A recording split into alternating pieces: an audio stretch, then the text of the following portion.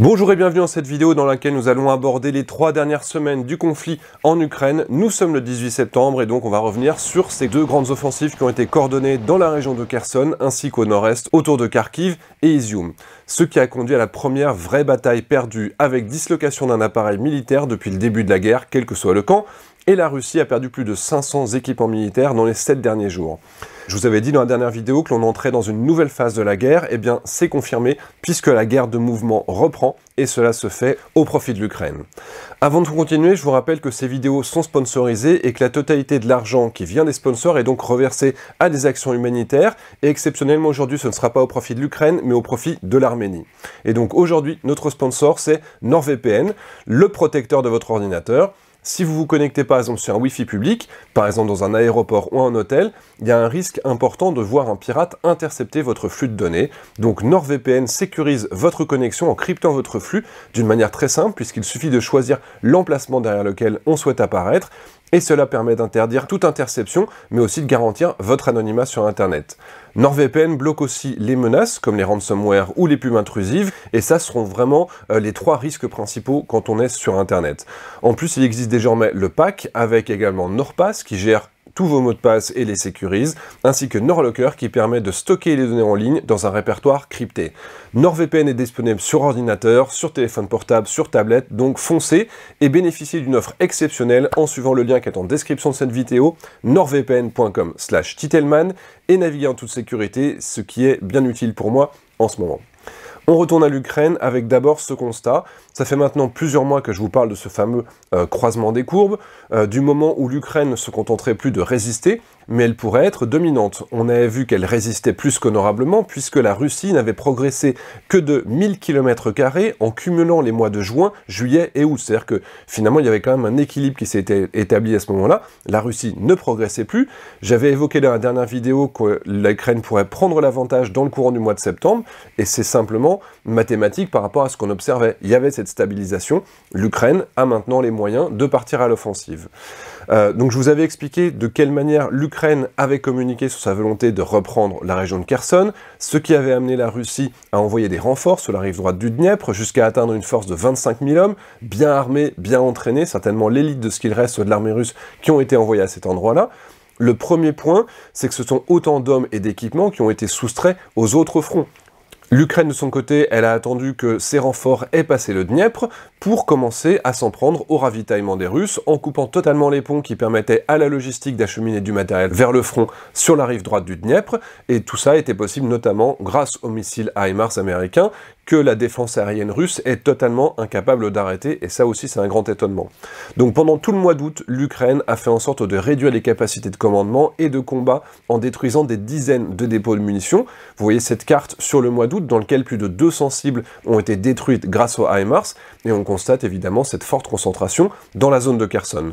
Le but pour l'Ukraine, c'est d'interdire un approvisionnement normal du front, parce qu'il faut réaliser qu'un BTG, c'est-à-dire en français c'est euh, les groupes tactiques interarmés, c'est à peu près 800 hommes, et ça a besoin, quand c'est en train de se battre, de 50 camions de ravitaillement tous les 3 à 5 jours. Or, il y a 25 000 hommes dans cette zone, et les approvisionnements ne peuvent plus se faire par la route, euh, par les trains, il doit se faire par des barges que euh, l'Ukraine n'arrête pas de viser. Donc la Russie est totalement incapable de faire passer 500 euh, camions par jour pour approvisionner son front. Donc on arrive au 29 août et au lancement d'une offensive ukrainienne, avec d'abord cette préparation d'artillerie qui a été intense, des bombardements aériens, et enfin ces raids sur des positions russes. Comme par exemple ici, vous voyez, euh, on, parle vraiment de raids, c'est rapide, ils encerclent, il y a une grande vitesse, il y a une grande puissance de feu, il y a beaucoup de mobilité, et donc les Russes qui sont dans ce hameau sont encerclés, sont incapables de riposter étant donné cette puissance de feu, et on a même des soldats russes qui sortent le drapeau blanc, euh, ces masses de chars, ce sont d'ailleurs les premières fois qu'on voit des masses de chars aussi importantes dans cette guerre, ça ressemble presque à des images de la Deuxième Guerre mondiale. Et là, les Ukrainiens, ils commencent à avancer, notamment sur le nord de cette poche de Kherson. Donc, il ne faut pas croire que tout soit facile, puisque à certains endroits, les Russes sont bien armés, bien entraînés, et on voit quand même ces images de combat du côté des Russes, et également quelques chars ukrainiens détruits, mais globalement, on a quand même une ligne de défense russe qui cède sur plusieurs points, et il faut bien comprendre que l'Ukraine n'ont pas pour objectif de reprendre cette zone. L'objectif, c'est pas d'avancer et de gaspiller euh, des hommes. Ils veulent entraîner des combats.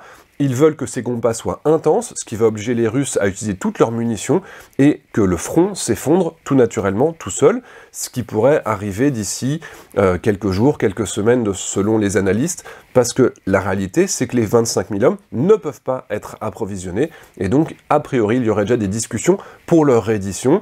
Donc ceux qui vont pas être capables de retraverser à la nage, parce que le Dniepr fait quand même un kilomètre de large, il faut s'attendre à avoir 10 000, 15 000 prisonniers russes dans les prochaines semaines. Ce qui est euh, marquant également, c'est la disparition totale de l'aviation russe, puisque la défense aérienne ukrainienne est désormais très efficace, euh, que les avions russes ont pour partie dû évacuer la Crimée, où ils étaient à portée de tir, on l'a vu dans les, semaines précédentes, et à l'inverse, on n'a jamais vu autant d'images d'avions ukrainiens. Donc là, c'est juste une sélection de quelques euh, vidéos qui sont filmées par des gens dans leur voiture, donc des dashcams, donc pas des images officielles. On voit réellement énormément de remontées de ce type. Accessoirement, la défense aérienne russe, qui était déjà pas très efficace face aux missiles, a été en partie détruite par euh, la disponibilité pour les Ukrainiens des AGM-88, qui sont des missiles anti-radar qui ont été fournis par les Américains et qu'ils ont pu intégrer sur leur MiG-29, également sur de Sukhoi 27. Et donc la destruction de cette capacité de défense aérienne, c'est aussi pour ça qu'on a autant d'avions de chasse ukrainiens et d'hélicoptères ukrainiens qui se permettent de repartir au combat. Donc en un mot, sur ce front, retenez qu'on a l'élite de l'armée russe qui va bientôt arriver à bout de munitions, qui ne dispose pas de soutien et qui ne peut pas reculer puisque le Dniepr est beaucoup trop large. Donc c'est qu'une question de temps euh, avant qu'on soit face à un désastre militaire russe dans la région. Si on passe à l'autre extrémité du front, vers Kharkiv, dans la dernière vidéo, je vous avais parlé d'attaques ukrainiennes vers Izium et Lysychansk, dans lesquelles les Ukrainiens s'étaient ensuite vite retirés, et je vous avais dit que j'avais pas compris pourquoi. En réalité, j'avais quelques informations de combattants sur le terrain, et je pouvais pas vous dire tout ce que je savais. Donc en réalité, ça a été deux tests. C'est-à-dire qu'ils ont avancé pour voir s'il y avait du répondant en face, parce que les Ukrainiens avaient constaté que ce front avait été particulièrement dégarni pour renforcer Kherson. Et donc en août, ils ont été voir avec des éclaireurs, et en effet, ils ont constaté que ces fronts euh, étaient mûrs, mais les Ukrainiens qui avançaient sont un peu emballés, ont été plus loin que prévu, puisque la résistance était faible, et c'est pour ça qu'ils ont ensuite reculé. Donc l'Ukraine a réellement lancé sa vraie offensive dans l'oblast de Kharkiv, et contrairement à Kherson, on est là sur une vraie course de vitesse. Les Ukrainiens ont complètement renversé le dispositif russe, euh, par exemple la première armée de chars de la garde. C'est une troupe d'élite, ils ont les meilleurs chars modernisés, leur rôle, c'est de défendre Moscou en cas d'attaque de l'OTAN. Donc ils sont même pas censés être déployés dans de telles proportions à l'étranger. 90% de cette armée qui avait été déployée dans la région aurait été totalement détruite. On constate dans un premier temps des avancées ukrainiennes sur la ville de Kupiansk, qui est un nœud absolument fondamental en termes de logistique au profit des Russes qui alimentent normalement tout le front euh, dans le Donbass. Et dans un deuxième temps, il y a eu des avancées sur le sud pour encercler Izium, et la même chose vers le nord, ce qui a amené à l'effondrement total et non organisé de toute l'armée russe sur tout le blast de Kharkiv. On a une quantité invraisemblable d'images de combats d'infanterie, comme ici dans les bois, Ici également où des Ukrainiens font fuir ces soldats russes qui étaient retranchés, mais aussi des destructions de matériel russe et des images de Russes en fuite, comme par exemple, vous voyez ce char euh, qui largue ses pauvres passagers et qui finit par se planter dans un arbre. L'avancée ukrainienne, elle est tellement rapide que les Russes n'ont même pas le temps de poser des mines, ni d'évacuer leurs équipements ou de construire de nouvelles lignes de défense. Pour vous donner un ordre d'idée de la vitesse euh, qu'on est en train d'observer, la première bataille d'Izium, elle a duré plus d'un mois. La deuxième bataille d'Izium, elle a duré un jour, pour un centre logistique absolument fondamental pour toute la Russie. Donc les chiffres sont hallucinants. On dénombre 691 véhicules perdus par la Russie, juste avec ce qu'on a en OSINT, donc ce qu'on remonte sur Internet, dans ces deux offensives, dont 384 euh, équipements capturés en ne parlant que de la partie émergée, encore une fois, de ce qu'on voit sur Internet. Du côté ukrainien, les Russes qui ont partagé beaucoup d'images pour montrer « Regardez, c'est un échec, euh, ils sont en train de gaspiller leurs forces », les Russes n'ont pu prouver, n'ont pu montrer que 71 véhicules ukrainiens perdus sur la période. 692 versus 71. Donc, outre les matériels de combat comme les chars, les BTR par dizaines, il y a aussi un élément qui est plus gênant sur le long terme, c'est la capture des centres de commandement avec tous les documents, dont les clés de chiffrage des équipements, les modes d'emploi, par exemple ici vous avez un Orlandis qui est encore dans sa boîte avec tous les détails de son fonctionnement, il y a des véhicules de commandement qui sont en état de marche, on a des équipements de guerre électronique, comme le pod de ce Sukhoi 30 SM, donc un avion de chasse russe qui avait été abattu apparemment depuis plusieurs semaines, mais que les Russes n'avaient pas jugé utile de rapatrier. Ici, c'est un véhicule de brouillage qui s'appelle le R934 BVM, que l'on voit ici déployé, et également tous les systèmes de communication satellite les conséquences de la capture de tous ces équipements, elle est absolument stratégique. Euh, ça veut dire aussi que les armées qui sont équipées de matériel d'origine russe vont être dans l'incapacité de représenter une menace pour tout pays qui serait équipé de matériel occidental, pas juste maintenant, mais sur plusieurs décennies. Les implications, elles sont stratégiques et sont pas encore mesurables. Euh, et c'est un petit peu comme, je ne sais pas si vous savez, mais à l'époque, il y avait beaucoup de pilotes de chasse soviétiques qui fuyaient, euh, qui fuyaient le bloc de l'Est pour venir s'échapper. On avait des avions de chasse avec leurs pilotes qui venaient par exemple se poser euh, au Japon, en Israël. Et c'était aussi ça qui expliquait la supériorité du bloc occidental en termes aéronautiques sur les avions soviétiques. Et on l'a vu, l'Inde face au Pakistan, l'Iran face à l'Irak, l'Israël face à l'Égypte. Systématiquement, quand vous aviez des avions de chasse occidentaux face à des avions de chasse soviétiques, c'était toujours les occidentaux qui gagnaient. Là, il faut peut-être s'attendre à peu près à la même chose. La capture de tous ces équipements va permettre aux Occidentaux de préparer des contre-mesures. Euh, il n'y aura plus de brouillage possible, il n'y aura plus de communication possible, la guerre électronique russe n'existera plus dans les prochaines années. Donc il faut clairement s'attendre à un effondrement de l'industrie militaire russe à l'export, puisque plus personne ne va vouloir acheter ces équipements ce qui va s'ajouter au constat, par exemple, sur les hélicoptères, on a vu qu'ils n'étaient pas à la hauteur, ce qui fait que beaucoup de pays, dont la Chine, l'Inde, euh, les Philippines, etc., ont annulé leur contrat avec des hélicoptères russes parce qu'ils voyaient que ce n'était pas à la hauteur. Les conséquences de ces offensives euh, ukrainiennes autour de Kharkiv, c'est l'abandon complet de l'oblast de Kharkiv, avec probablement plus de 8000 km qui ont été repris, mais aussi la capture de milliers de prisonniers de guerre pour l'Ukraine, qui ne savent pas aujourd'hui comment les gérer, puisque le pays n'a pas les infrastructures pour un tel nombre de prisonniers, et on parle probablement de plus de 2000 hommes dans la zone. À l'heure où je vous parle, les Ukrainiens ont atteint la rivière Oskil et on est plutôt sur une période de nettoyage des poches de résistance puisqu'il y a des Russes qui sont cachés dans les bois. Euh, donc il n'y a plus de progression aussi rapide maintenant depuis une bonne semaine puisqu'il faut simplement également se réorganiser. Vous voyez par exemple ici un tank modifié pour déminer et également pour permettre à la logistique de suivre jusqu'au front, parce que si les Ukrainiens avaient avancé trop vite, la logistique ne les suivait pas, un petit peu comme ce qu'on a vu tout au début de la guerre du côté des Russes. Donc on souligne également un soutien aérien avec des hélicoptères et des avions, avec ces images incroyables partagées par l'armée ukrainienne euh, sur des Mi-8 et Mi-17 qui volent au ras des pâquerettes et font toujours ces tirs en cloche, dont on peut toujours questionner la pertinence, mais en tout cas c'est une pratique totalement partagée par toutes les armées dans la région. Encore une fois, à quoi ça sert d'avoir euh, des Kamov 52 ultra modernes pour finir par faire des tirs en cloche qu'on peut très bien faire avec un hélicoptère soviétique Grand problème euh, de munitions précision euh, du côté russe. Oskil, donc la rivière Oskil a été franchie avec une tête de pont notamment sur les villages de Studenok et Sosnové qui ont été repris par les Ukrainiens et donc il y a déjà une tête de pont qui permettra de continuer par la suite.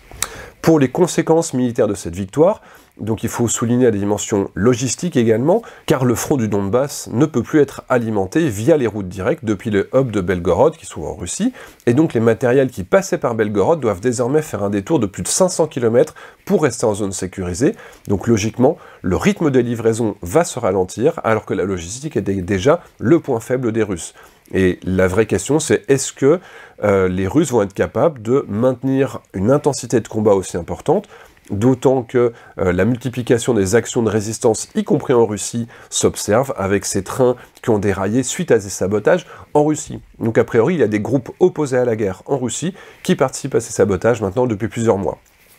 La euh, réponse russe à l'offensive de Kharkiv, ça a été le bombardement sur la ville de Kharkiv de manière euh, complètement aléatoire. On voit ici énormément d'attaques sur des zones résidentielles, également la destruction de centrales électriques un petit peu partout dans le pays, ce qui a provoqué des coupures d'eau et des coupures d'électricité chez une partie de la population. Donc soyons clairs, c'est ce qu'on appelle des actes terroristes. Et euh, on redoutait par exemple que l'État islamique attaque un barrage en Irak à l'époque, il y a quelques années.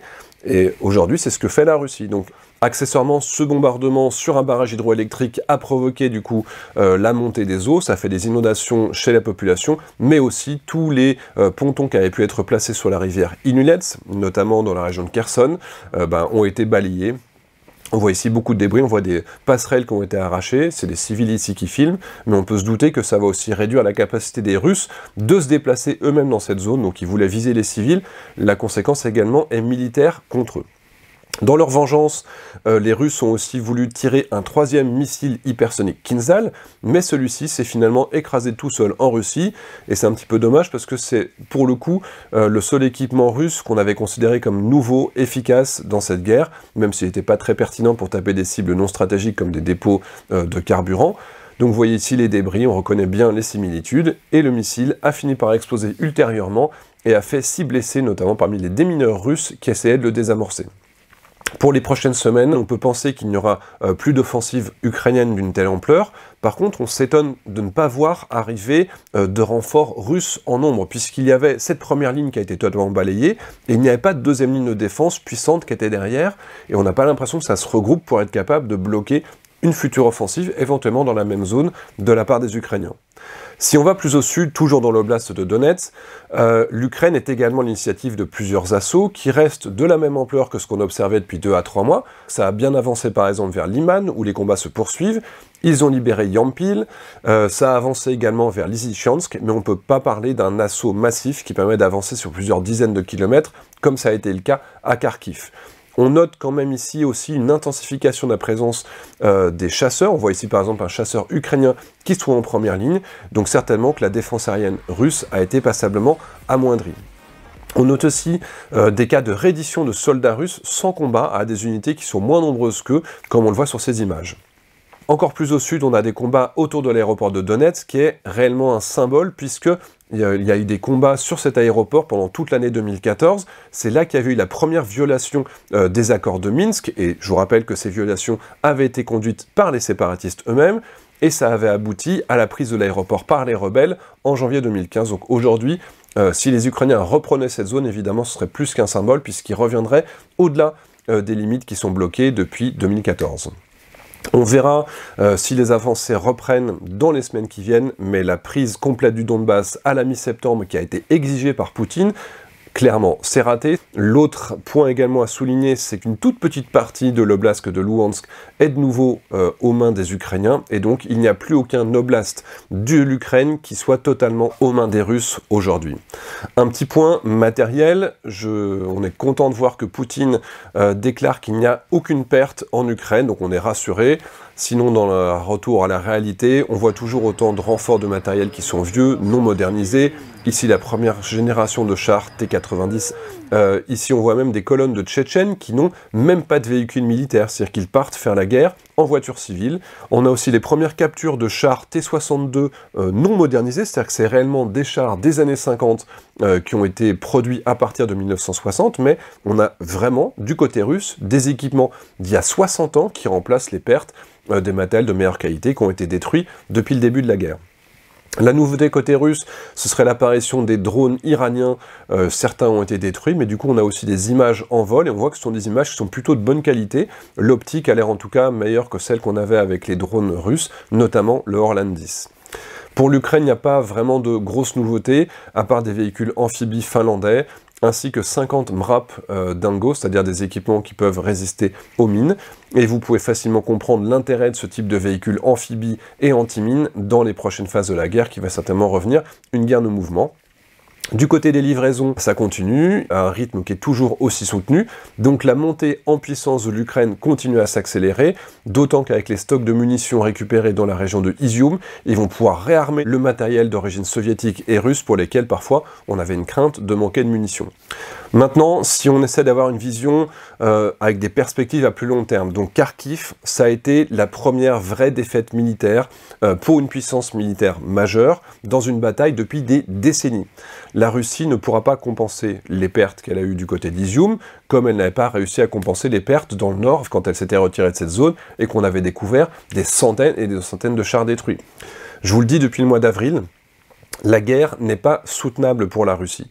Euh, c'est-à-dire que le niveau de perte nécessaire pour avancer est trop élevé pour continuer longtemps, et on sait depuis plusieurs mois qu'elle n'arrivera pas à atteindre ses objectifs, y compris sur le Donbass, car elle n'a pas assez d'hommes et de matériel à sacrifier dans des offensives qui sont toujours moins efficaces. Je vous renvoie vers ma vidéo euh, réalisée début septembre. Je vous parle depuis avril du croisement des courbes, qui est la représentation euh, du potentiel militaire des deux belligérants, c'est-à-dire les Russes remplacent leurs pertes euh, par des troupes moins bien formées, moins nombreuses, et ils remplacent ces équipements perdus, euh, soit ils sont non remplacés, soit ils sont remplacés par des équipements dépassés. A l'inverse, euh, on voit les premiers résultats des levées en masse de l'Ukraine qui ont eu lieu à partir du mois de mars. Il y a des centaines de milliers de soldats.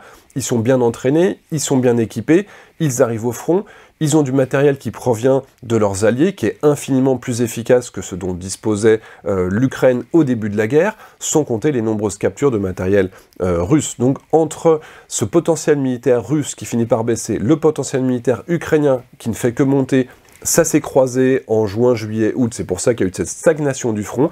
Maintenant, l'Ukraine a l'avantage. Et cet avantage ne va faire que s'écarter euh, avec la multiplication des défaites, comme celle de Kharkiv, comme celle de Kherson qui va arriver d'ici quelques semaines la Russie a perdu l'initiative dans cette guerre. Le plus étonnant, c'est qu'elle n'a même pas été capable d'identifier la préparation de cette offensive ukrainienne qui était massive, avec des milliers d'hommes qui étaient en train de se masser au même endroit pour attaquer. Donc, est-ce qu'ils ont des problèmes de renseignement? Est-ce qu'ils n'ont plus euh, de satellites efficaces? Est-ce qu'ils n'ont plus les hommes nécessaires pour simplement se défendre? Et très clairement, le potentiel offensif de l'armée russe est aujourd'hui quasiment nul, au moins pour les six prochains mois. Donc elle se doit de rester en position défensive, d'autant qu'on peut constater quand même que des troupes d'élite n'ont pas réussi à tenir le choc de l'offensive ukrainienne du côté de Kharkiv-Izium. Donc si on cumule euh, le retrait russe du nord de Kiev avec ce qui s'est passé dans ces trois dernières semaines, ce sont 60 000 km dont les Russes ont été chassés par les Ukrainiens, donc il en reste à peu près autant à reprendre. Et si vous demandez quelle est la solution pour la Russie aujourd'hui, eh bien la réponse est simple, militairement, il n'y en a pas.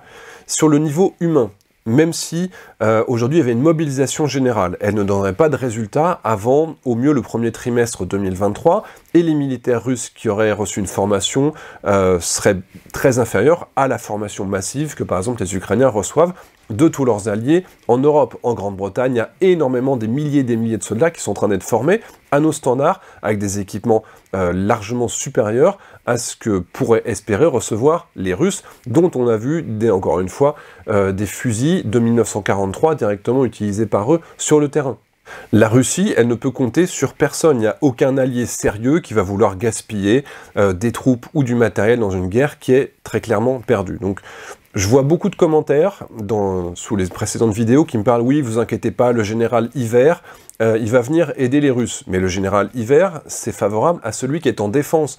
C'était bon pour les Russes quand Napoléon ou Hitler euh, ont voulu les envahir. Là, ce sont les Ukrainiens qui se défendent. L'hiver sera plus dur pour ceux qui ont des lignes euh, d'approvisionnement qui sont plus longues. Donc ce sera dur pour les soldats russes, encore pire pour les soldats russes que pour les soldats ukrainiens. Et donc, voici quelques images exclusives qui sont envoyées par euh, des connaissances que j'ai sur le front, dans la région d'Izium, quand vous voyez dans quelles conditions les Russes vivaient en Ukraine alors que la logistique était censée être efficace, vous pouvez être convaincu qu'ils craqueront bien plus vite que les Ukrainiens, surtout qu'ils ont aujourd'hui le moral dans les chaussettes. La question aujourd'hui, c'est donc de savoir si euh, la progression de l'Ukraine va se faire lentement ou s'il va y avoir des grandes offensives. Euh, il y a des rumeurs par exemple dans le sud vers Vuledar, euh, vers Militopol également, et pourquoi pas les deux à la fois pour bah, créer un chaudron dans lequel tous les Russes qui sont au milieu se retrouveraient coincés. Il y a beaucoup en tout cas de scénarios dans ce, dans ce sens-là qui sont aujourd'hui analysés on verra lesquels, sont crédibles.